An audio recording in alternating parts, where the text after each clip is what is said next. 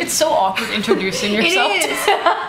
my name's Erin. This is my YouTube channel that I just started. I go by the name Irritable Bee Syndrome because I have irritable bowels and I'm also a bee. This is part of our new series that we coined. It's Nobody else is doing this. Yeah, this is original thoughts only. Um, it's called English Majors React. And you should check check out Avery's channel. We just made a video about milk and honey. it's Um, pretty exhausting. It was a trip. We didn't really go anywhere. I'm gonna be know. honest.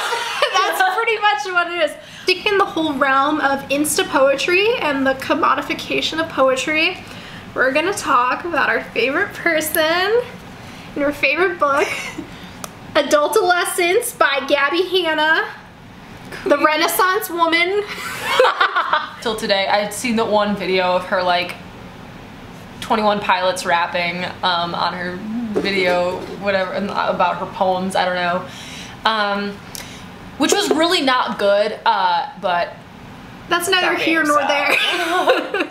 we also just got finished um, watching her video about uh, about her own poetry book, explaining it and defending it. So, yeah, so we're all a little riled up over here. but she also said she welcomes criticism. So I don't think that's true because she gets really upset if people criticize her. But at the same time, I don't think it's criticism.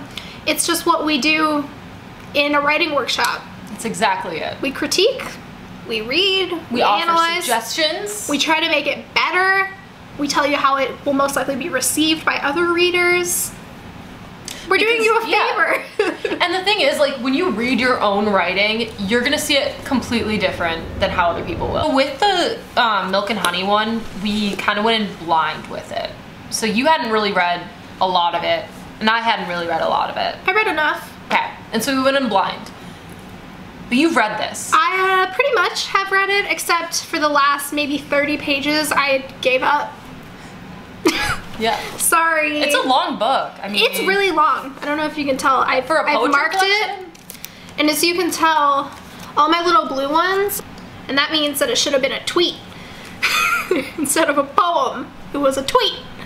And then I ran out of blue sticky notes, so I just kinda, I just kind of kept going. Do you have some favorites? Um, no, but there are some that I've marked. Keeping in mind, first person she attributes this book to is Shane Dawson. I don't know if you can see. I didn't even know that. That's a big yikes. well, it's it is supposed to be children's poetry, right? So Apparently, she says it's inspired by Bo Burnham and Shel Silverstein, which I didn't get at all when I read it. How Um, fucking disrespectful to Shel Sil- I'm sorry. How how dare you drag his name through the mud like that? The man is dead. He cannot defend himself. So basically, this book is um, many short poems with little drawings. You know, a la Milk and Honey, a la maybe Shel Silverstein, but not really. I'm gonna start with this one. It's on. It's the second poem in the whole book. It's on page two if you want to follow along. Um, it's called Sleep. I like sleep. Sleep is neat. If you're having trouble, count some sheep. I like sleep. Sleep is sweet. Best of all, sleep is cheap. When I sleep, I can dream of cherry pie and Boston cream. When I sleep, I don't have to blink. No, I don't have to think. Excuse me. That's why I love my eight hour blink. I only wake up to eat or pee. Otherwise, I'd sleep for eternity.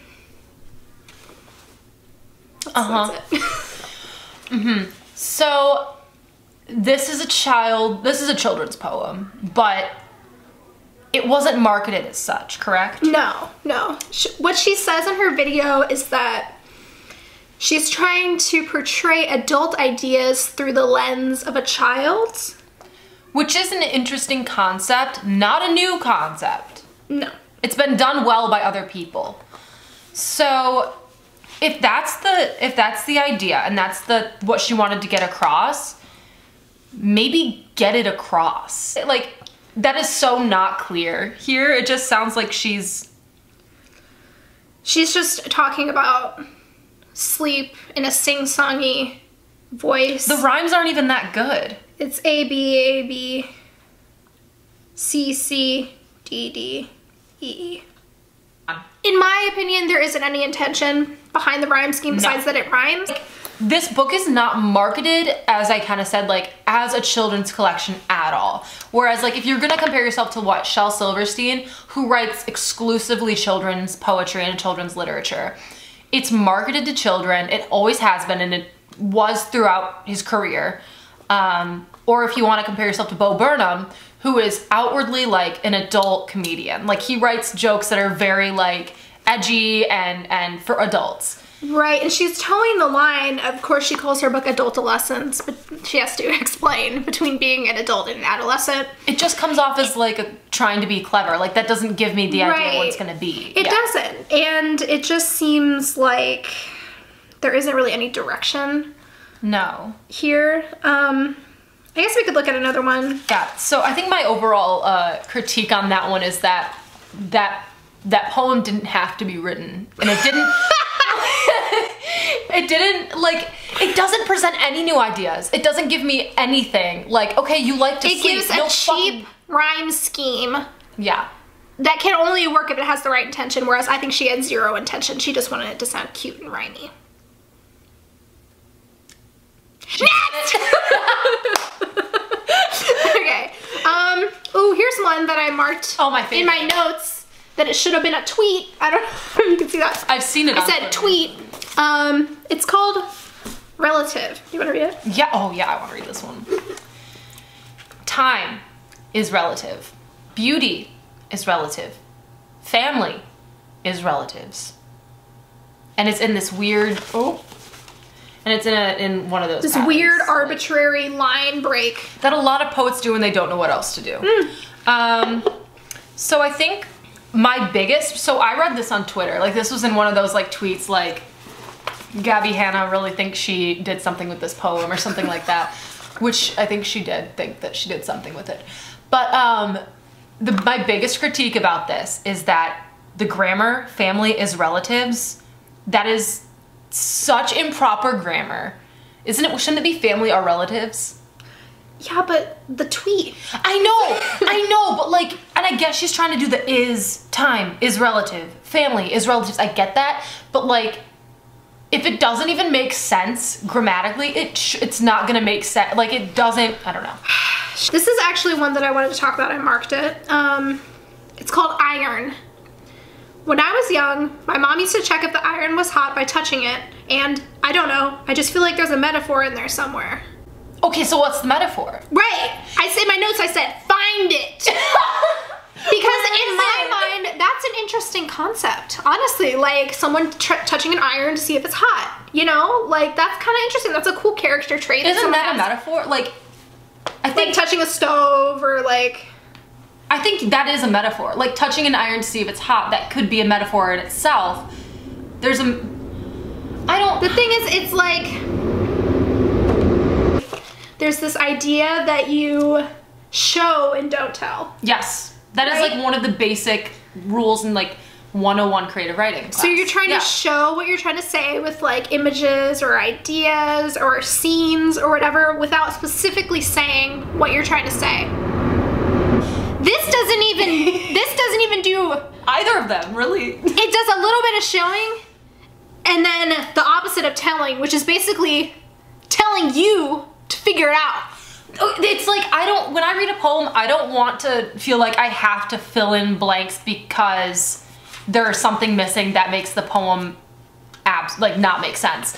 A good poem will leave you with something, leave you wondering, but more about like wondering introspectively, not wondering about the actual poem itself. If you're confused about a poem itself because like think about like a poem should like directly tell you to think about something. It should make you think.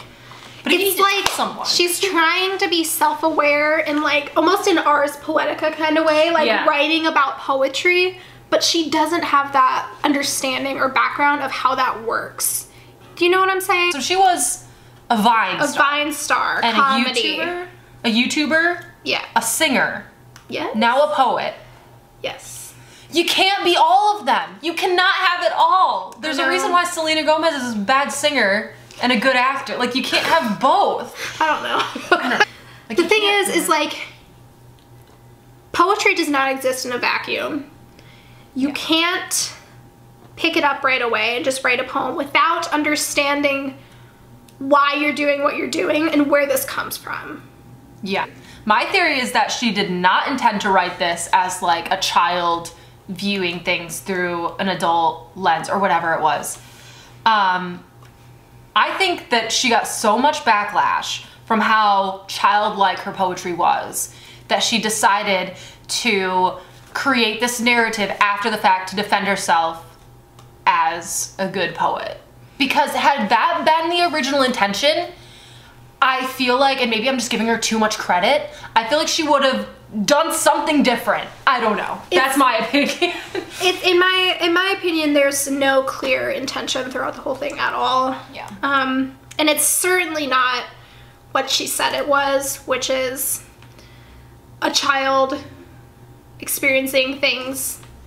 I don't even remember what she said. she was like, uh, like it, adult mature experiences told from a child's point of view or something like right. that. Right, that's not this at That's all. not. It's not get this that. at all. It's it's basically the perspective of an adult baby. so Gabbie Hanna. Oh. but like she should have just said it instead of trying to like make this pseudo intellectual statement about it that like Yeah. has no ground. No new ideas are here. I'm not learning about the writer really, or I mean, excuse me, I'm not learning about the speaker. There's a difference between the author and the speaker. Yes. In most cases. we don't have a clear uh Differentiate- yeah, exactly, we because- don't know which is which here. She starts the book by saying, um, it's a poem titled Unexpected, and it says point blank, it's a YouTuber book. So that makes me not want to like, Read it. It makes me not want to read it. It makes me not want to take it seriously, and it blurs the lines again between the speaker and who's writing it, Exactly. which is not good writing. So, um, Oh, there's a poem called Lotion. yeah, let's read it. The, page 30. Ew. Okay. It's called lotion. Have you ever received a gift that was placed inside of a box that was recycled from another, much more intriguing present? Sorry, line breaks. That has confused me. Like, you pull back the pretty paper and you see the iPad packaging, but then you open the lid and inside is a lotion set? I meet a lot of people like that. Exciting outside, disappointing inside. Don't be lotion. Whoa. Wait, that's kind of offensive. I would love a lotion set. Sorry we can't I all be know. fucking rich, Gabbie Hanna. That I definitely did think that. I was like, they just need to use a box. Like, wow, maybe wow, maybe they bought the iPad for themselves and they didn't have enough money left over, so they had to give you the fucking lotion set. This is another case of introducing a concept or an image, a little bit of a scene. It's you opening a present and you open the box, you think it's gonna be an iPad and it's not. And then telling you exactly what to do with that information. It's a weak tactic. It is. It's weak. I even wrote that weak. Oh my god, hey, I didn't even see that you wrote that. Well, also, like, I also personally think that it's kind of not amateur, I feel like that has negative connotation, but a beginner thing to like open a poem with a question. Because they always tell you not to do that on essays in high school and stuff. Mm-hmm. Like, don't start with a question. Don't start a sentence with because. It's just kind of like one of those things. But I don't know, like, that's a very specific situation. I mean, personally, I'm never really disappointed by gifts. Maybe I just don't relate to it, but like, I don't, it's taking this situation that's not necessarily universally relatable of like expecting a gift to be more An expensive iPad. than what it was and then applying that to like a generalization of people and like i get what the i get what she's referring to like people who are really hot on the outside but like dumb as fuck on the inside but like don't be lotion like i, I don't know Ugh. I'm not crazy about the concept, not crazy about the execution. I think it was cheap. also like how are you gonna ex- tell someone not to be lotion like don't be pretty on the outside and not interesting on the And inside And there's so many connotations. Like, lotion can mean so many things moisturizing, soft, can be expensive too. Uh, I don't know. yeah. It was actually um, not controversy, but I was watching another YouTuber. Her name's Rachel Oates. Do you watch her? Mm-mm. She does lit stuff. She does commentary stuff. She does a bunch of stuff. But um, she specifically commented on this one poem, and it's called "Cut." Her hand trembled around the sharp, cold metal as she looked at her distorted face in the mirror. Just do it, she told her reflection. Don't do it, her reflection replied. Come on, pussy, she shouted at the glass. You're going to regret this, you always do, the glass worn back. No one gives a shit if, if I do it, she reminded them both. This is a permanent decision based on temporary emotion, the mirror pleaded. Hair grows back, dumbass. Snip. That was just straight up offensive. Like I, I I'm like straight up kind of offended by that. I don't know if you feel the same way. I do. I feel like that's just because it's it's so obvious what she's trying to do. Yeah. She's trying to lead you in one direction, then all then at the very end switch. switch. Which is I feel like she's kind of trivializing self-harm. She's using it, she's playing with it as like a literary tool instead of what it actually is. Also, where's the trigger warning for that? I'm sorry. There isn't. like, oh, I'm sorry I didn't give one to you. Right, because- no, I'm sorry. I'm No, it's sorry. fine. I'm sorry, everybody. No, it's okay. No, I'm so- no, I'm fine. But like the fact that there is It's none, like in the middle of really- it's like in the middle of the book. We don't really it's on page 61 and we really don't see stuff like that until this page and it's kind of I'm sorry, that's not told through a child's lens either. No, it's not. Well, okay, the thing is, like, that could be super real for some people. Like, I get the thing about like cutting your hair and how that's like whatever. But that that that ending doesn't match the one line where it's like this is a permanent solution to a temporary problem. First of all, it's not because that's hair fucking grows bait back. and switch. Cheap. It's very cheap. Like you can't you're gonna use that she used that line to obviously to bait you into one direction and to And she also, which I think is wrong, she evokes such a visceral feeling talking about the sharp, cold metal at the beginning. That can be like super triggering for somebody Yes. who has struggled with self harm, which is what she's talking about. And I'm not saying that maybe maybe she has in the past, which I mean, okay, but think about like you would then you should know that that's not cool. Like that's bad. I can't believe she actually put I know, that. yeah, that I'm one's really, that was one of my marked ones. What is the yellow sticky note? It doesn't mean anything.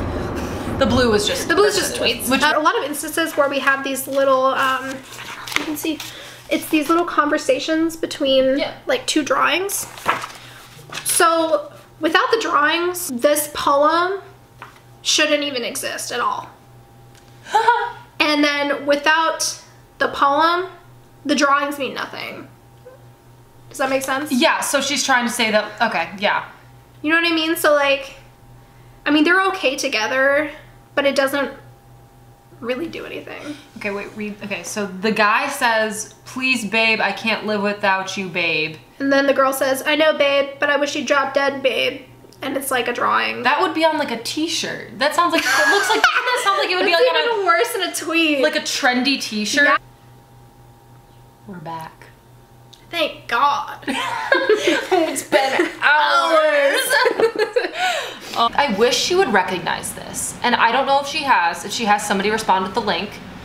Um, I wish she would recognize how privileged she is to have already been famous before she put this book out. Like, it takes some people their entire lifetime, and some people, again, will never experience this to get a book deal. Like, let alone for it to be like successful and to earn money off of it. Most people won't earn a livable wage off of a book deal. And the fact that I wish she would have recognized and fully acknowledged the fact that the reason she got a book deal was because she was famous and Simon and Schuster wanted to make money and knew that they could off of her. and not because it's good poetry. Not because it's good. Like, they offered her a book deal. Okay, so something she said in the video um, that we watched earlier. I'll link it in the descript. Please do. it's worth a watch, let me tell you. Um, provides a lot of context. Um, so she has a new book coming out in October called Dandelion, which she said will be obvious why she titled. It'll be obvious why she titled it Dandelion in the future. It's a mystery. When you read it. But she made it. She said that Simon and Schuster offered her a book deal before she even gave them a Before she gave them a ma- manuscript. Is what I was trying Man- manuscript, yeah. Before This she- is this is like Lena Dunham and oh girls. my god. That's exactly what it It is. is. It's like you don't. She, does she realize that that's not how it works? Like that's not how people, normal people, normal writers who does honestly deserve it way more than she does. This what they have to go through to get book deals. Like she won't ever understand that, and she won't acknowledge it because she's and too proud of herself. And that's why she thinks that her stuff is so good.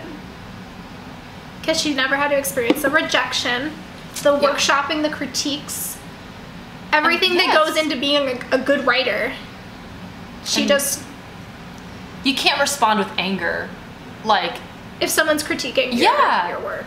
Can you imagine if? Because like we're not we're yeah. not saying like I hate Gabbie Hanna. No, like, whatever. Not at all. I don't like her work, and I think she didn't put, she hasn't put in the work necessary to make a book. Like it, it is so obviously not there. She herself said it was rushed, She did. She actually did in that video. and I know what my work is like when I rush it.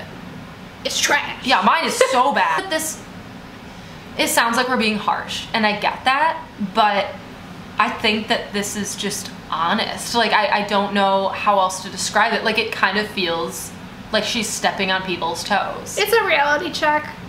yeah, and she's probably not gonna watch this. No, well, she Yes. might. She might. She might. She probably. She probably does. she probably will watch it. Um, let's read a couple more, and then I think I'm done. okay. Never mind. Cut. Cut it out.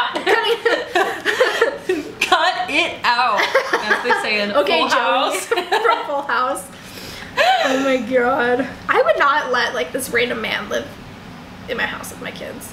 We're talking about Joey from Full House. Okay, well, he was no, he was the wife's brother. No, that's Uncle Jesse. Oh, really? That Yeah, was Joey. Joey was uh, Danny's childhood friend. Oh, So I funny. hate it. It's so wrong. We should have a Full House series.